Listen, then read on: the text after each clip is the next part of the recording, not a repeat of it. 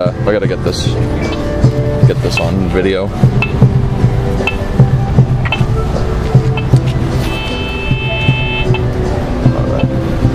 This is Myra's favorite light in the city so far. Did I get this one on video?